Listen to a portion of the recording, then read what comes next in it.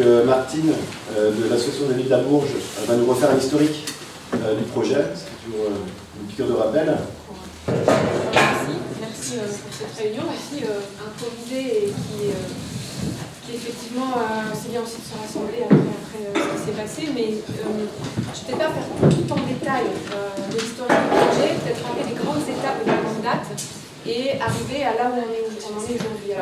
Euh, comme tu le disais, je représente l'association pour l'avenir de la vallée de la Bourge.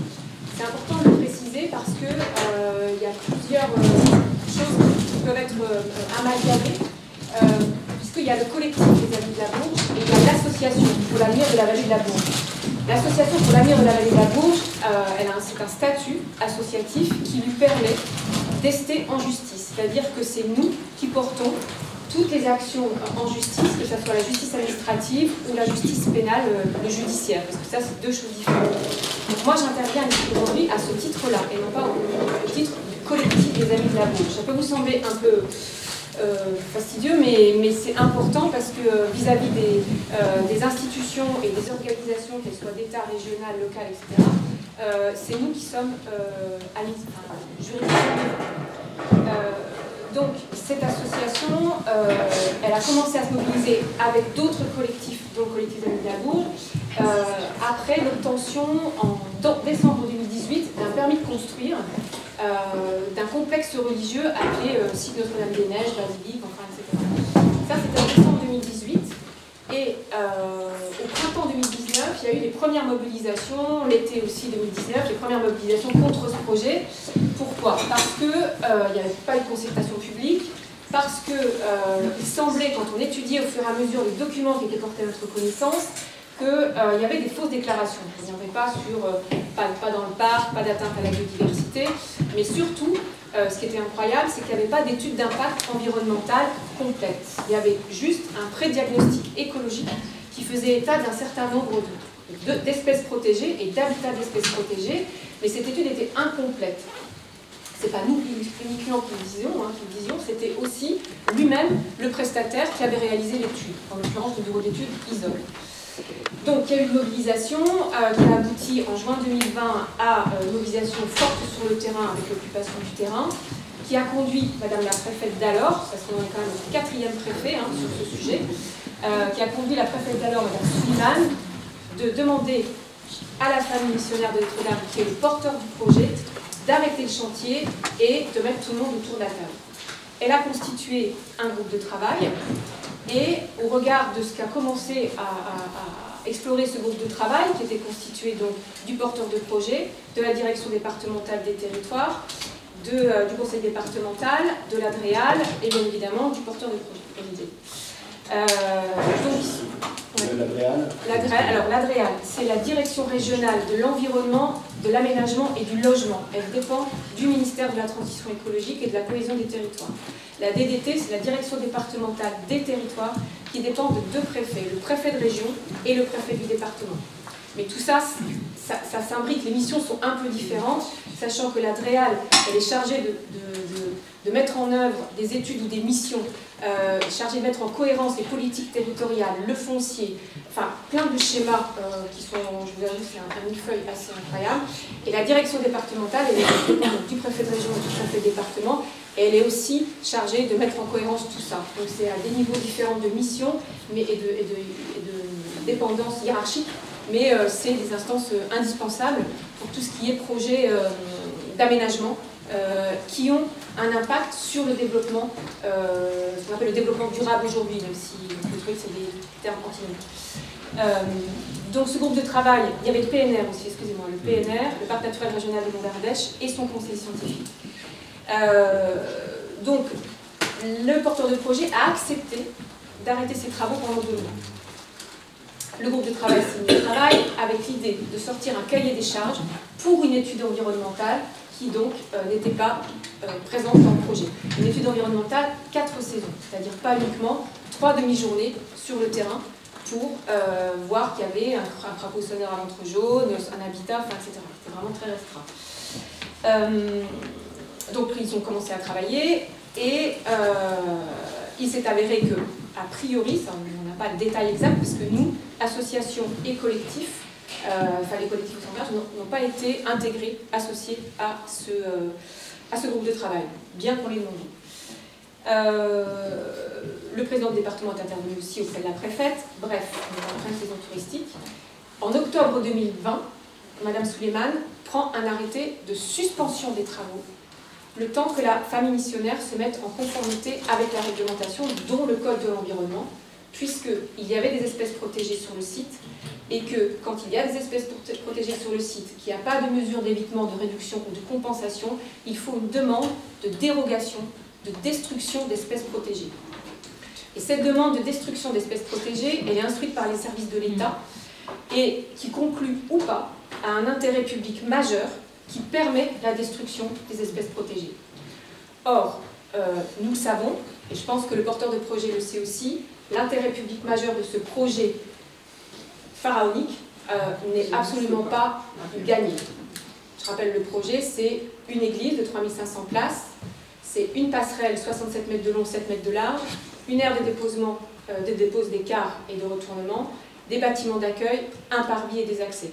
C'est 7 hectares et demi pour 1 hectare et demi de bétonisation. Donc ce projet-là, s'il a une dérogation d'espèce, s'il fait une demande, il n'est absolument pas sûr d'avoir euh, cette, dérogation pour détruire les espèces protégées. Et c'est ce sur quoi, ce, contre quoi la famille missionnaire se base, pour ne pas être obligé de demander une dérogation euh, de destruction d'espèces protégées. Donc on est en 2020. La préfète prend cet arrêté, la famille missionnaire considère à ce moment-là que son deal, entre guillemets, avec la préfecture est rompu. Donc c'est le blackout total, c'est-à-dire qu'à partir de ce moment-là, on n'a plus accès ni au cahier des charges, ni à l'instruction et à l'élaboration du cahier des charges, et bien évidemment, on n'a pas accès euh, au bureau d'études qui est payé par la FMND pour faire cette étude environnementale demandée par la préfecture. Euh, cet arrêté préfectoral, il devait s'arrêter dix mois après, c'est-à-dire en octobre, euh, en août 2021. Pas de nouvelles. L'arrêté préfectoral court, continue à courir. On sait entre-temps qu'il y a des échanges euh, entre euh, le bureau Naturalia, la famille missionnaire, les services de l'État, par rapport à cette fameuse étude qui, est, qui doit conclure à un impact nul ou absolument négligeable du projet sur les espèces protégées et leurs habitats. Et plus rien, vraiment plus rien. On demande, nous, euh, à plusieurs reprises d'avoir accès aux documents. Euh, il n'y a pas que nous, d'ailleurs, qui le demandons. Euh, notre avocat, enfin, etc. Et miracle, en novembre 2022, le préfet de Vimeux, il prend un arrêté, mais qui est absolument communiqué à personne, hein, de reprise des travaux sur la base de l'étude environnementale, la dernière étude environnementale fournie par Naturalia. Euh, nous contestons, mais nous n'avons pas les documents. Et nous aurons les documents. Je ne vous rappelle pas la réunion au parc des originales de Marrakech, très houleuse. Euh, nous aurons les documents dix jours avant l'expiration du délai de recours. Puisque quand il y a un arrêté préfectoral, on a deux mois pour déposer un recours auprès du tribunal administratif. On aura les documents dix jours avant. Donc euh, on a mouliné, enfin, surtout nos, enfin, des conseils des écologues, des ingénieurs écologues, etc. Et on a attaqué cet arrêté sur la base d'une fausse analyse d'impact et de risque d'impact sur les espèces protégées par euh, voilà, une fausse analyse du bureau Naturalia. On a demandé, il y a deux choses quand on pose un recours, on dépose un référé de suspension, c'est-à-dire on considère que l'urgence, on demande au tribunal administratif que l'urgence fait qu'ils arrêtent tout de suite, ils ne jugent pas sur le fond, et ensuite, il y a le jugement au fond. On a été débouté sur l'urgence, mais par contre, le fond est toujours euh, instruit. C'est-à-dire qu'à ce jour, on n'a pas été convoqué pour l'audience concernant cet arrêté, la contestation de cet arrêté préfectoral auprès du tribunal administratif. Parallèlement à ça, on a déposé des plaintes judiciaires. Donc ça, c'est différent. C'est pas administratif, c'est judiciaire. Qui, euh, pour destruction d'espèces protégées, nous avons été une première fois déboutés parce que nous n'avions pas d'agrément pour déposer une telle plainte. Et là, oui. Et là, on a, avec une association, et euh, enfin deux autres associations, dont une qui est porteuse de cette plainte, euh, on a redéposé une plainte de destruction d'espèces protégées auprès du tribunal judiciaire. La consignation, parce que quand on dépose une plainte, euh, le juge d'instruction peut décider que la plainte est abusive. Donc pour se prémunir de ça, eh bien, il demande une consignation. En moyenne, les consignations, c'est de l'argent qui est en dépôt au tribunal et qui peut éventuellement être rendu. En moyenne, la consignation elle est de 1500 2000 euros. On nous demande aujourd'hui 15 000 euros à déposer pour le 30 octobre. Donc l'association qui porte la plainte avec nous euh, n'a pas ces 15 000 euros, nous ne les avons pas. On a lancé une première cagnotte, sachant que cet argent, si le juge, ce qui est généralement le cas, considère qu'il n'y a pas d'abus de dépôt de plainte, l'argent il est rendu. Il n'est pas dans les médias, ça peut être 6 mois ou un an. Donc c'est de l'argent. Ça pour vous dire qu'il y a aussi ces démarches au pénal. Et enfin, euh, au tribunal administratif, on a demandé une annulation du permis de construire, puisque quand un permis de construire est déposé, on a aussi deux mois pour le contester. Une fois que ces deux mois sont passés, il est considéré comme étant purgé de tout, euh, tout recours. La seule chose qui permet d'arrêter ou d'annuler un permis de construire, c'est de prouver qu'il a été établi sur fraude. C'est ce à quoi nous sommes attelés, en essayant de démontrer qu'il y avait un faisceau d'erreurs, soi-disant, et qui peut conduire à une fraude. Mais ça ne suffit pas. Il faut prouver l'intentionnalité de la fraude. Ce qui est plus compliqué. Euh, Donc, euh, on a été débouté une première fois, et là, on a fait appel. Voilà, ça, c'est les démarches judiciaires et administratives en cours.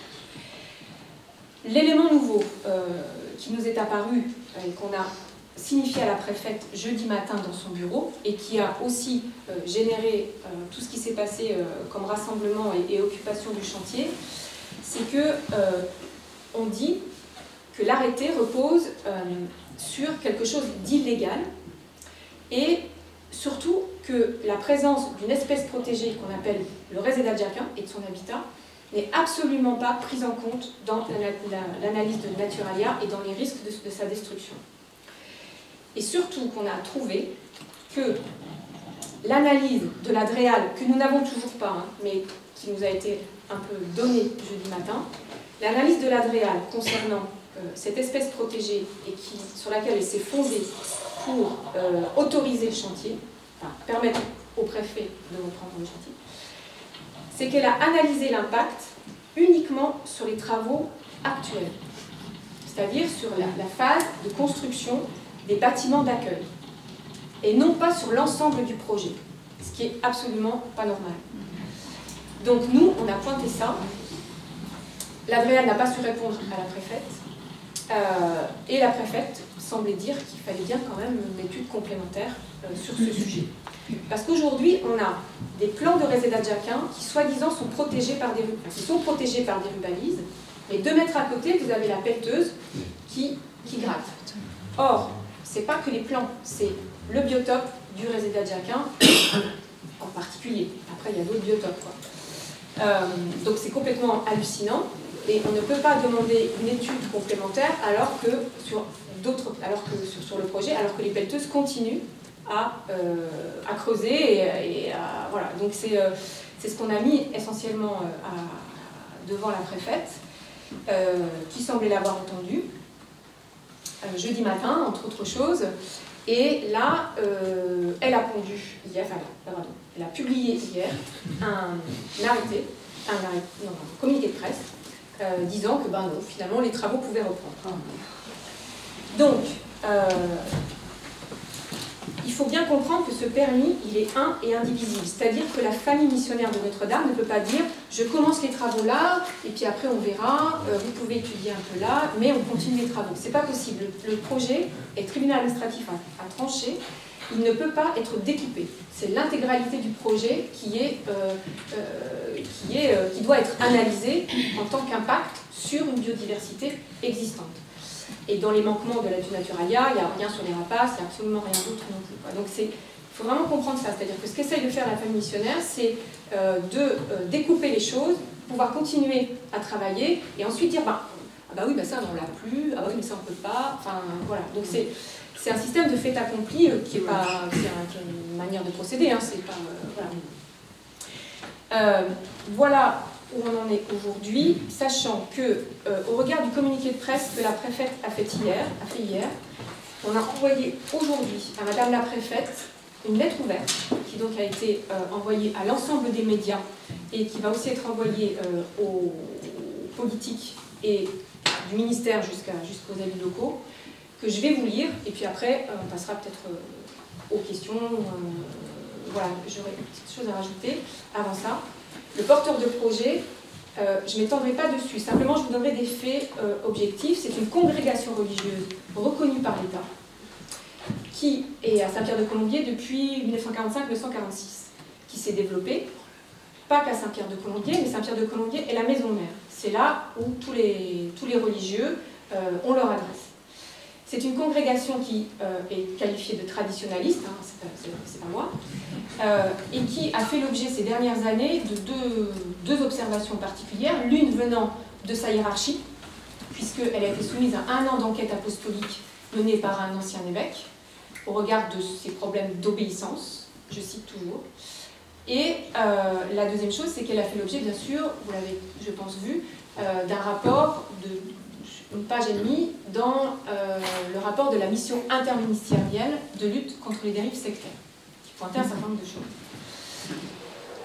et puis la troisième chose, c'est le rapport à sa hiérarchie catholique, qui est extrêmement tendu, puisque l'évêque de Viviers avait refusé que la construction de l'église telle qu'elle existait sur les plans soit euh, confirmé. Il n'a pas confirmé. Rome a soutenu l'évêque. Donc aujourd'hui, la paix missionnaire, par la hiérarchie catholique, mais pas par le droit de l'urbanisme et pas par son permis de construire, elle ne, moralement ne devrait pas construire cette église. Or, elle peut le faire. Concrètement, elle peut le faire puisqu'elle a, le permis, permis pour le faire. Donc ça, c'est... Euh, et ce qu'elle construit, elle le nomme une chapelle. Une chapelle, ça n'a rien à voir avec la taille. C'est un statut. Au départ, c'était une basilique, mais une basilique, ça suppose qu'il y ait des reliques et qu'elle soit consacrée par le pape. Ce n'est pas le cas. Donc après, on est venu à une église. Une église, elle doit être consacrée par l'évêque. L'évêque, il n'est pas d'accord, donc il ne la consacrera pas. Donc, il se rabattu sur le terme chapelle. Mais chapelle, ça n'a rien à voir avec sa taille, c'est uniquement son statut. Donc, il peut y avoir une chapelle de 3500 places. Donc, voilà, juste un petit, un petit euh, petite vue sur, le porteur de projet. Et puis je vais finir en vous lisant la lettre ouverte euh, qui a été envoyée ce matin à Madame la préfète de l'Ardèche et donc aux médias et à d'autres euh, responsables politiques. Lettre ouverte à Madame la préfète de l'Ardèche. Madame la préfète, à la fin de notre rencontre ce jeudi dans votre bureau, en présence de Monsieur le directeur de la DDT, Madame la directrice adjointe de l'Adréal et Madame la sous-préfète de l'Ardèche à l'Argentière, vous nous avez assuré revenir vers nous. À cette heure, nous n'avons reçu aucun signe de votre part. Vous avez également annulé la conférence de presse que vous aviez vous-même programmée jeudi 19 octobre, dans la foulée de vos rendez-vous avec les parties prenantes du dossier. Raison invoquée, votre besoin d'établir un plan d'action avec les services de l'État concernés. Et finalement, un communiqué de presse de dérobade, publié vendredi 20 octobre, affirme que les éléments portés à votre connaissance ne modifient pas la situation à savoir le chantier du complexe religieux peut reprendre. Que s'est-il passé, Madame la Préfète, entre 11h30 où nous avons quitté votre bureau et ce communiqué de presse décevant, dans la mesure où il n'est pas à la hauteur ni du droit, ni de la science, ni des enjeux sur le terrain? Que s'est-il passé pour que vous ne, vous ne vous présentiez pas devant les journalistes afin de répondre à leurs questions, eux qui pourtant commencent à bien connaître le dossier? Que sont devenues vos questions, restées sans réponse de l'Adréal Pour qui on peut isoler quelques spécimens d'une plante protégée pendant les travaux actuels pour les préserver, mais on se contrefiche ou feint d'ignorer qu'ils vont être noyés sous le béton une fois le projet terminé. D'ailleurs, nous sommes toujours dans l'attente de l'analyse de l'Adréal, que cette dernière s'était engagée à nous communiquer, celle, justement, qui lui aurait permis d'assurer qu'il n'y avait pas de risque pour le résédat Jacquin. Quid du mode de dispersion des graines de réséda, qui a besoin de l'intégralité de son biotope pour se développer, contrairement à ce que soutient l'Adréal, mais comme vous l'a démontré scientifiquement le Conservatoire botanique national? Douteriez-vous de ce que disent les scientifiques? Où est donc passée votre conclusion qu'une étude du risque d'atteinte de l'ensemble du projet sur cette espèce protégée était manifestement absente et juridiquement nécessaire? Il s'agit pourtant là d'éléments nouveaux portés à votre connaissance. Doit-on en déduire que pour vous, une analyse tronquée de l'adréal sur le réservoir jacquin permet une poursuite des travaux? Que faites-vous du Code de l'environnement? De l'arrêté du 4 décembre 1990 relatif aux espèces végétales protégées Que faites-vous des plans Attestations indépendantes et compléments précis que nous avons portés à votre connaissance? Le Code de l'environnement est clair à ce sujet. Il est interdit de détruire des espèces ou habitats d'espèces protégées. Le Conseil d'État a tranché. C'est bien le risque d'atteinte que fait porter le projet au RESEDA et qui est à apprécier, et non le seul effet d'une petite partie des travaux comme le soutient l'Adréal. Douteriez-vous ce que disent les membres du Conseil d'État? Vous l'avez répété à l'envie, il est indispensable de se référer, au droit. Mais quand celui-ci est bafoué, y compris par les services de l'État, pourtant garant de son application, que reste-t-il aux citoyens comme mode d'action? Permettre la poursuite de ce chantier, c'est souffler sur les braises d'une situation déjà tendue, et nous regrettons que vous ne l'ayez manifestement pas compris. Vous disposez pourtant, depuis hier, de l'ensemble des éléments tant juridiques que scientifiques nécessaires pour faire appliquer le droit à Saint-Pierre de Colombier. Tout est sur la table. Dans ce dossier que vous avez qualifié de pénible, n'ayez pas peur, Madame la Préfète, de prendre vos responsabilités et de rompre enfin avec des années d'errance et de faits accomplis destructeurs. Aujourd'hui, le Code de l'environnement, le Conseil d'État et la science vous le permettent. Nous vous prions, Madame la Préfète, de recevoir une salutation républicaine. Voilà.